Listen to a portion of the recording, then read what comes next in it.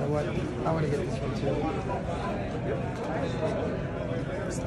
This is our active shooter response configuration. This is not available to other than law enforcement.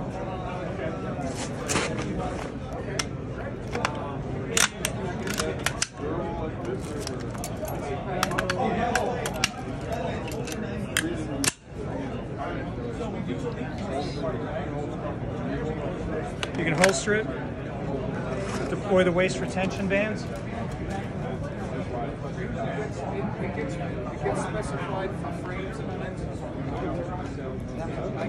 The other unique aspect about this system,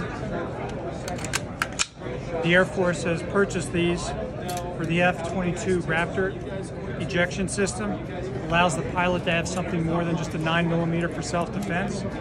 What's unique about this system, you notice the gas tube? That would be fatal to any other weapon. Would become a club.